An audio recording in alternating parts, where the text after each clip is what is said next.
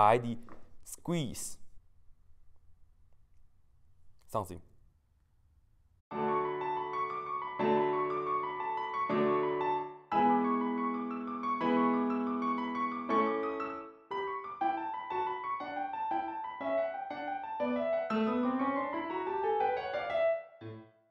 Okay, we are going to find the limit as n goes to infinity of n factorial over n to the nth power.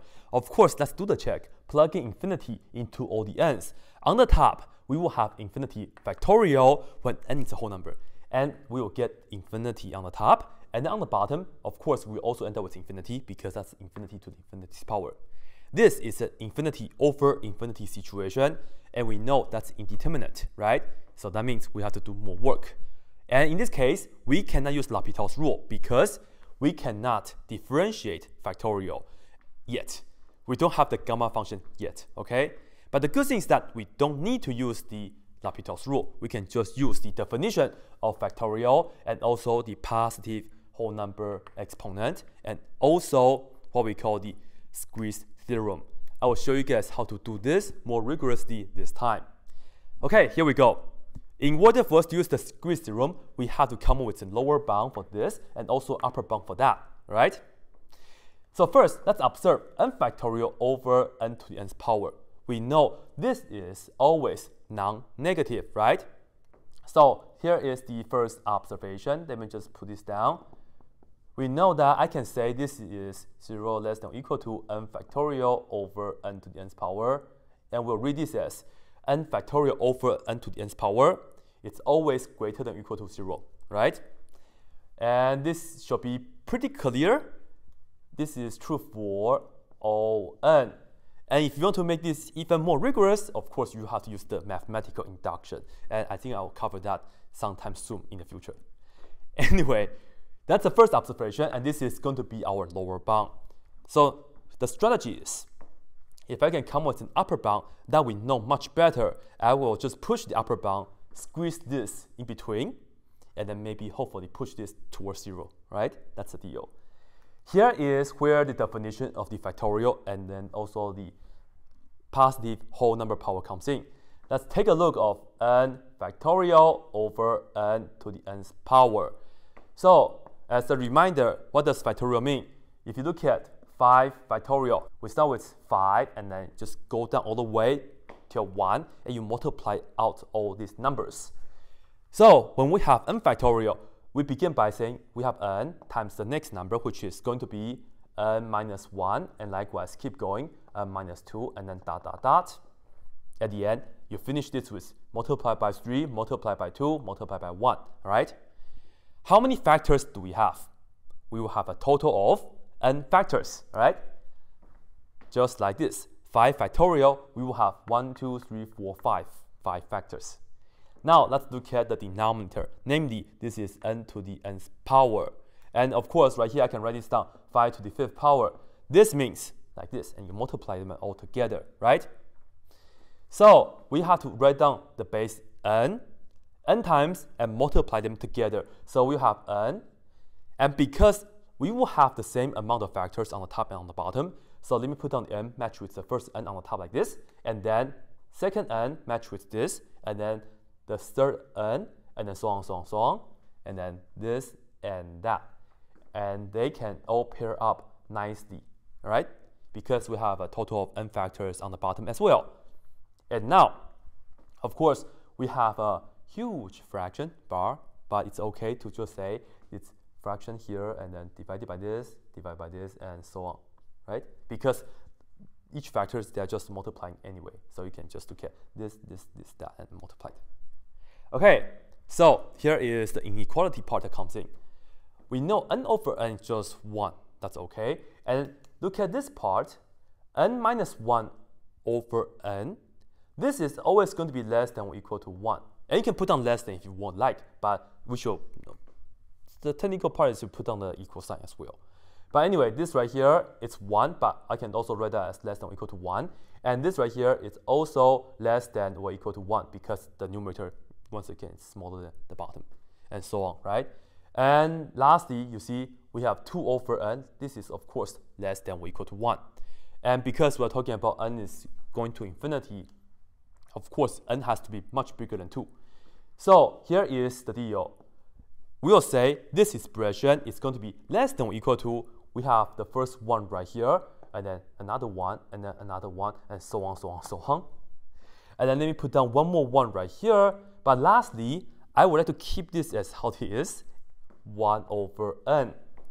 And the reason I don't want to write this down as 1 is because if I have n factorial over n to the n is less than or equal to 1, I am talking about 0 and 1, and this is in the middle. And this can be going to anywhere, somewhere in between of 0 and 1. That's not good. I'm going to look at the last factor, 1 over and how it is, and then take the limit for that, right? So anyway, you see this right here is just pretty much the same as 1 over n. In another word, I'm saying n factorial over n to the n is less than or equal to 1 over n because it's 1 times 1 and blah, blah, blah times 1 over n, right? So that's the second observation. Along with the first one, I can say n factorial over n to the n, it's in between of 0 and 1 over n.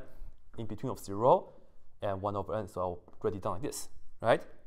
So this is what we have from the first and also the second observation. Thus, we have that. And now, this is in the middle of this. I can take the limit individually. This is the limit as n goes to infinity. The limit as n goes to infinity. And of course, the limit as n goes to infinity. And now we know this much, much better because the limit as n goes to infinity of 1 over n, this goes to 0. So what we're saying is 0 is in between of, I don't know why I'm using blue, but okay. I think I have been using blue in my videos anyway. right? So you see that this, which is what we're trying to find out originally, we have 0 on the left, 0 on the right, and this is uh, you know, in between situation, including, including, right? That means this guy has to be zero as well. So finally, we'll say the limit, it has to be equal to zero. And now let's be fancy. Just like in your, es in your, in your uh, English essay or your research paper, you have to do the citation, right? Right here, we are saying this is equal to zero. We also have to quote, the, how to do the citation as well. Quote the theorem by the squeeze theorem. And this right here is it. However, before we go, let me first tell you guys what we can get out of this computation. This is the limit as n goes to infinity of the ratio n factorial and n to the nth power. And then we end up with 0, right?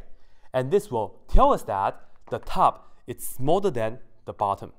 And you may be wondering how small is small. Well, the top is really, really small in comparison with the bottom one.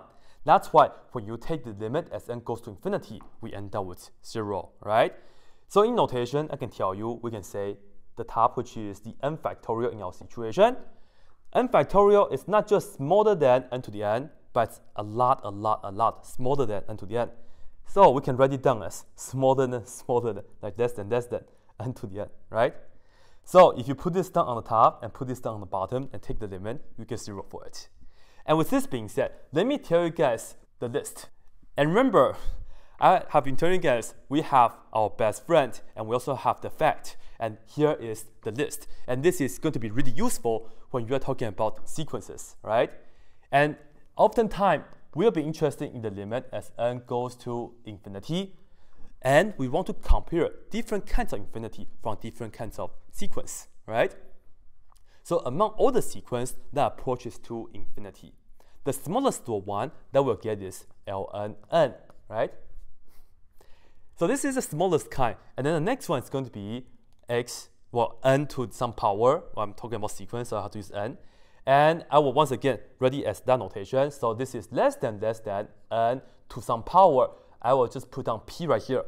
We have to come back to, to say what does the p equal to, right? And then the next one is going to be the exponential situation. I already done as b raised to the nth power and in the exponent. And here comes the factorial. So in fact, factorial beats the exponential, right, or the geometric sequence up to you, right? This is n factorial. Lastly, we have n to the n. So this is the list. And to complete the list, here the p has to be a positive exponent, right? And likewise here, the b, you also have to know that this right here, it has to actually be greater than 1, all right? And of course, you can have the combination or the compositions of whatever, whatever. You may have like n factorial and square, right? n factorial and then you square that. But in that case, of course, you have to just do even more work for that. But this is usually what I call the list to be. You can just make a quick comparison when you want to figure out a limit real quick. Anyway, that's it.